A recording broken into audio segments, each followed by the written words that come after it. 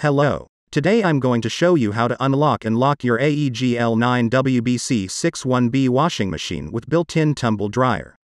I'll show you how to activate the key and child lock function.